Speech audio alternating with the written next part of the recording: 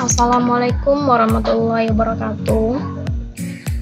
Selamat datang di Aspini Labs Channel. Pada kali ini kita membahas uh, materi di mata pelajaran pemrograman web dan perangkat bergerak, di mana kita membahas tentang aplikasi web stateful.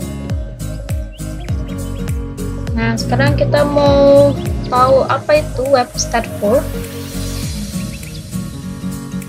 Web stateful adalah aplikasi web di mana informasi yang diberikan sebelumnya disimpan dan mempengaruhi konten atau informasi atau data yang akan diberi setelahnya.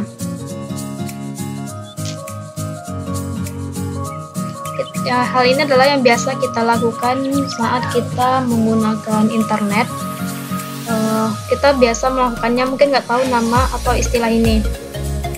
Nah itu disebut dengan stateful lalu lalu ciri-ciri web stateful adalah yang pertama dia terdapat session lalu ada cookies dan ada cache. Session. Apa sih itu session? Session adalah mekanisme penyimpanan informasi ke dalam variabel agar bisa digunakan lebih dari satu halaman. Itu session. Lalu selanjutnya kita masuk ke bagian cookie. Cookie adalah penyimpanan informasi yang disimpan pada sisi klien. Session adalah mekanisme penyimpanan informasi ke dalam variabel agar bisa digunakan di lebih dari satu halaman. Nah, kalau session ini, penyimpanan informasi itu adalah di bagian server, di dalam web server. Nah, berbeda dengan cookie. Cookies adalah mekanisme penyimpanan informasi yang disimpan pada sisi kliennya atau sisi browsernya. Lalu,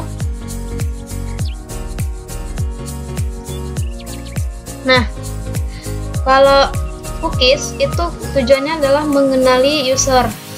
Misalnya, pada saat kita browsing, uh, bukan saat pada saat kita login di satu situs website lalu kita melakukan login atau registrasi.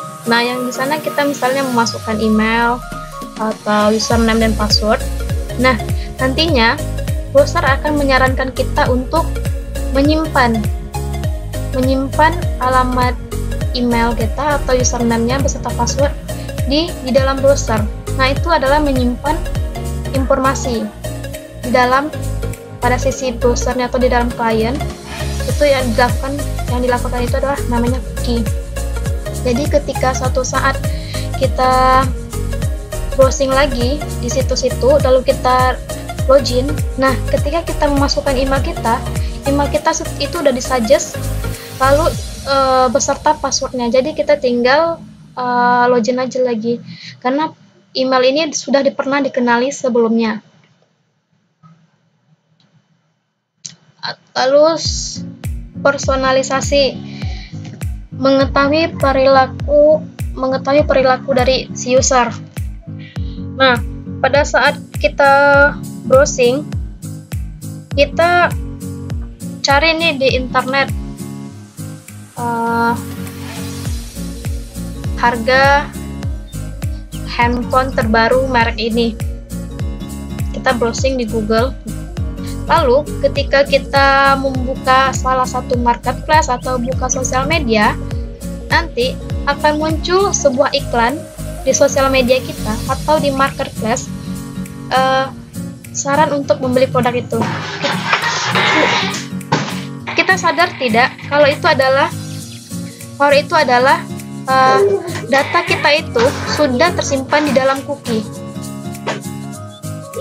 Kita pernah browsing sebelumnya, kita pernah nyari itu, lalu datanya tersimpan di browser kita, bahwa kita punya riwayat pernah mencari uh, benda itu, lalu ketika kita buka sosial media atau marketplace, nanti akan muncul sebuah iklan mungkin pernah mengalami kayak gitu kan? Nah itu adalah data kita itu tersimpan di dalam cookies. Nah selanjutnya adalah cache. Cache ini adalah suatu mekanisme di mana web dokumen seperti HTML dan gambar disimpan sementara untuk mengurangi pemakaian bandwidth dan mempercepat loading browser. Kalau kita sering browsing, biasanya uh, ke situs-situs yang biasa kita buka itu akan lebih cepat loadingnya ketimbang kita pertama kali membuka situs tersebut. Dan ketika suatu website juga kita susah mengaksesnya, mungkin kita bisa ngapus testnya karena terlalu banyak terlalu banyak penyimpanan uh, memorinya. Jadi kita hapus cache-nya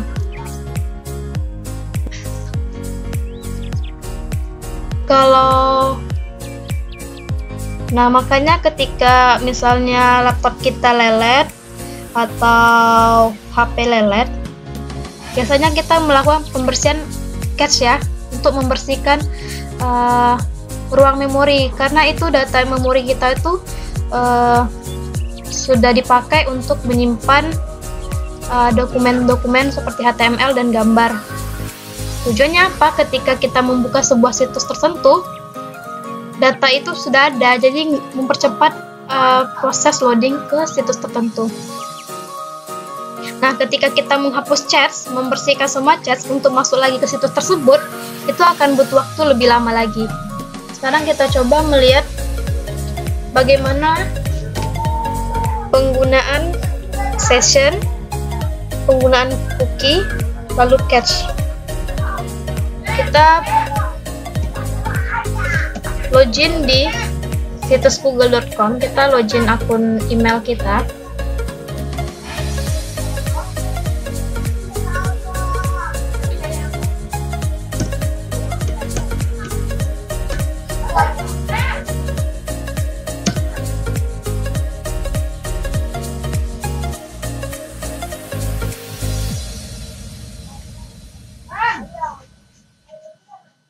Oke, nah di sebelah sini, sebelah kanan ini kita bisa lihat kan, di sini adalah saran untuk menyimpan uh, username sama password kita. Nah, data kita ini disimpan di dalam cookie. Username-nya dan passwordnya ini disimpan di dalam cookie. Nah, kita bisa nyimpan atau kita uh, tidak melakukan penyimpanan. Nah, sekarang kita coba uh, pindah ke tab lain, lalu kita buka lagi situs google.com. Nah, kita bisa lihat di sini bahwa kita tidak perlu login lagi. Kenapa? Karena sesi kita sudah tersimpan di dalam uh, situs google.com ini. Email dan password kita tadi sudah tersimpan sesinya sampai kita logout dari situs ini. Jadi sessionnya itu dimulai dari session start ketika kita login sampai sessionnya berakhir atau session destroy ketika kita melakukan logout. Nah kita mau belanja di salah satu marketplace. Dulu ya ke situsnya kita menggunakan akun Google saja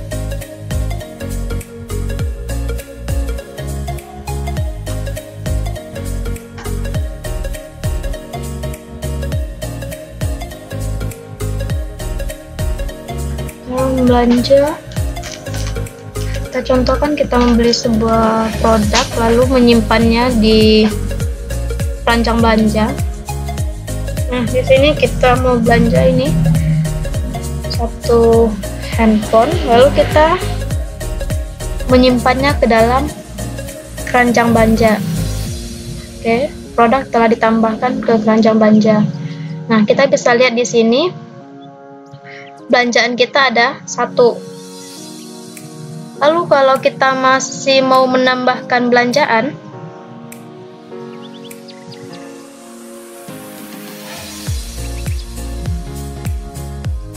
ini kita beli ini. Oke, so, lalu masukkan ke keranjang belanja. Produk telah berhasil ditambahkan. Nah, di keranjang belanja ini sudah tersimpan dua data Nah, ini adalah penerapan dari uh, sesi. Dengan uh, data sebelumnya itu tidak hilang ya tapi datanya tetap ditambahkan. Walaupun kita sudah berpindah halaman datanya tetap masih tersimpan di uh, situs marketplace-nya. Kita buka dari tab baru. Datanya juga masih tersimpan. Kenapa? Karena di sini e, menggunakan sesi. Jadi selagi kita masih login sesi kita akan tetap tersimpan di e, website ini. Lalu terakhir penggunaan catch catch. Nah di sini kita bisa lihat bahwa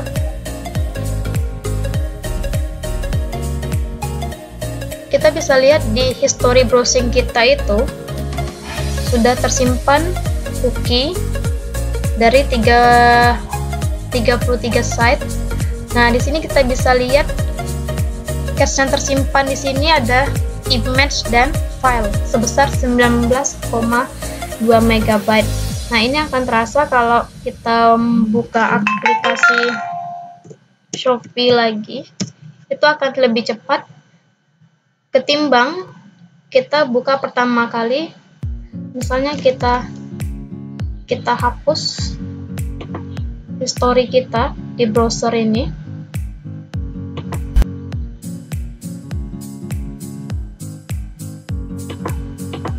History kita kita buka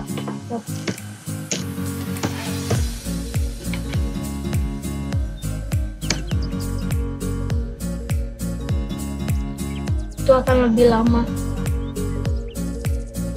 Karena dia akan menyimpan kembali uh, image lalu pesan lalu teksnya. Masukkan untuk pembahasan catch ses tadi kita sudah membahas apa itu sesi cookie lalu apa itu catch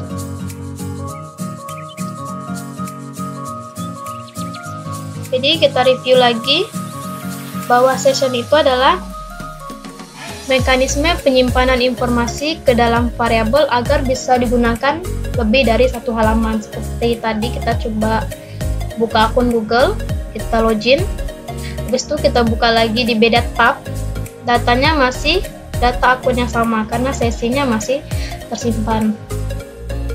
Sesi ini uh, menyimpan informasi di sisi web server.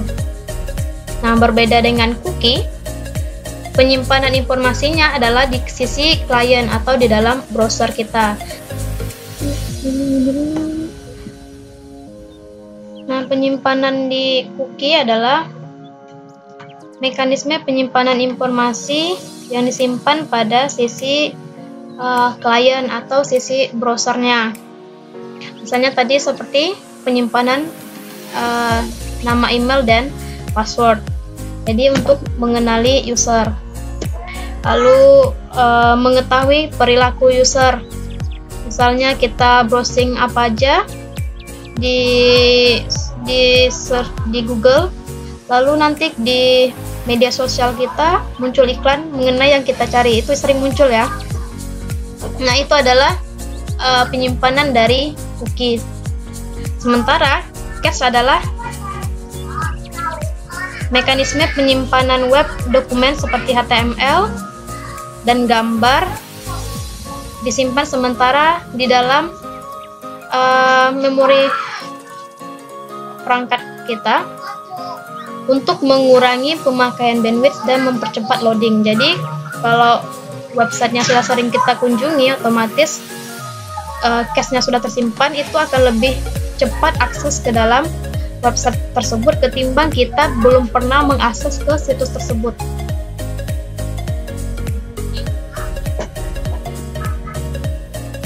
Oke, sekian video kita kali ini. Assalamualaikum warahmatullahi wabarakatuh.